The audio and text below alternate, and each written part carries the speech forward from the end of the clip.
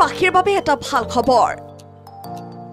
শীঘ্ৰেই হ্ৰাস পাব মহানগৰীৰ যান-জঁট ৰাজ্যৰ দীৰ্ঘতম উৰণ সেতু মুকলিৰ বাবে সাজু চৰকাৰ। মুকলিৰ বাবে সাজু মালিগাঁৱৰ উৰণীয়া সেতু। মঙলবাৰে পুৱাই মুখ্যমন্ত্ৰীৰ এটা বিশেষ টুইট। টুইটাৰত এটা ভিডিঅ' শ্বেয়াৰ কৰি মুখ্যমন্ত্ৰীয়ে লিখিলে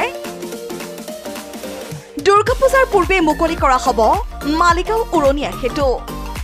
হয় মালিগাঁৱত নিৰ্মীয়মান উৰণীয়া সেতুখনৰ ভিডিঅ' টুইট কৰি মুখ্যমন্ত্ৰীয়ে দিয়া এই ভাল খবৰৰ লগে লগে মহানগৰবাসীৰ মাজতো দেখা পোৱা গৈছে উৎসাহ কিয়নো এই উৰণীয়া সেতু মুকলি হ'লেই অলপ হ'লেও সমাধান হ'ব।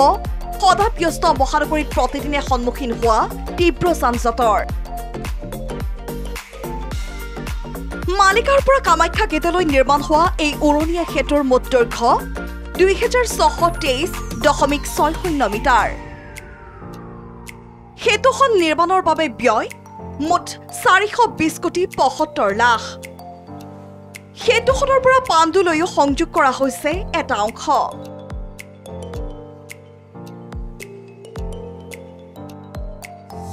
শেহতীয়াকৈ ৰাজ্যত নিৰ্মীয়মান উৰণীয়া সেতুসমূহৰ ভিতৰত এইখনেই সৰ্বাধিক দৈৰ্ঘ্যতম উৰণীয়া সেতু।